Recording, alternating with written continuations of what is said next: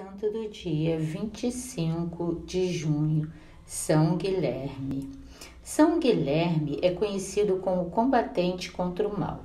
São Guilherme nunca admitiu pecado em sua vida e foi exemplo de devoção. Vamos conhecer sua história e sua oração? São Guilherme, santo do dia de hoje, nasceu no ano de 1085 em Vercelli, na Itália. Hoje, com muita devoção, celebramos sua santidade. Muito cedo, o menino Guilherme ficou órfão e foi então morar com alguns familiares que de forma alguma o impediram de seguir a Jesus Cristo e assim realizar seus anseios por uma vida religiosa. Aos 14 anos de idade, São Guilherme saiu de casa, usando vestes penitenciais e foi rumo a uma visita ao Santuário de Santiago de Compostela, na Espanha. Ele queria expressar sua caminhada espiritual. São Guilherme desejava peregrinar até a Terra Santa, mas na época aconteciam muitas turbulências políticas que fizeram com que ele precisasse desviar sua rota e acabasse se retirando no Monte da Virgem, o Monte Partênio. Ali o santo ficou em silêncio, oração e penitência.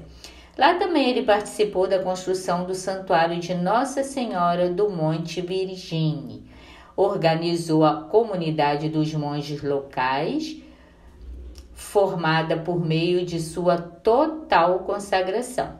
Foi desta forma que surgiu o primeiro de tantos mosteiros que foram fundados pelo santo do dia de hoje. São Guilherme foi firme no combate ao mal. Viveu por 67 anos e nunca admitiu que o pecado fosse parte de sua vida. Mesmo diante da malícia de uma mulher, o santo preferiu se jogar na brasa acesa a se entregar nos braços do pecado. Por um milagre, uma graça divina, ele foi preservado de qualquer ferimento que poderia ter sido causado pelo ato. São Guilherme, rogai por nós. Oração para São Guilherme. Com muita fé no coração, em um momento de silêncio, tenha em mente suas preces e repita a oração para São Guilherme.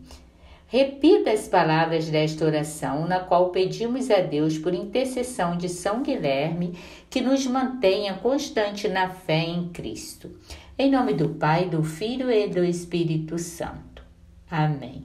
Oremos. Deus Pai, te pedimos por intercessão de São Guilherme a constância da fé em nosso Senhor Jesus Cristo, neste mundo que nos oferece muitos caminhos.